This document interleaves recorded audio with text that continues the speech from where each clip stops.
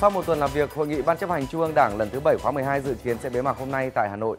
Trong những ngày diễn ra hội nghị, nhiều đề án lớn đã được Trung ương thảo luận, gồm đề án tập trung xây dựng đội ngũ cán bộ các cấp, nhất là cấp chiến lược đủ năng lực, phẩm chất và uy tín ngang tầm nhiệm vụ. Đề án cải cách chính sách tiền lương đối với cán bộ, công chức, viên chức, lực lượng vũ trang và người lao động trong doanh nghiệp. Đề án cải cách chính sách bảo hiểm xã hội. Trung ương đã bầu ông Trần Cẩm Tú, Phó chủ nhiệm thường trực Ủy ban Kiểm tra Trung ương, giữ chức chủ nhiệm Ủy ban Kiểm tra Trung ương khóa 12 bầu bổ sung Ủy viên Ban Bí thư khóa 12 gồm ông Trần Thanh Mẫn, Chủ tịch Ủy ban Trung ương Mặt trận Tổ quốc Việt Nam, ông Trần Cẩm Tú, Chủ nhiệm Ủy ban Kiểm tra Trung ương. Trung ương cũng đã xem xét và quyết định thi hành kỷ luật ông Đi La Thăng, Phó trưởng Ban Kinh tế Trung ương bằng hình thức khai trừ ra khỏi Đảng.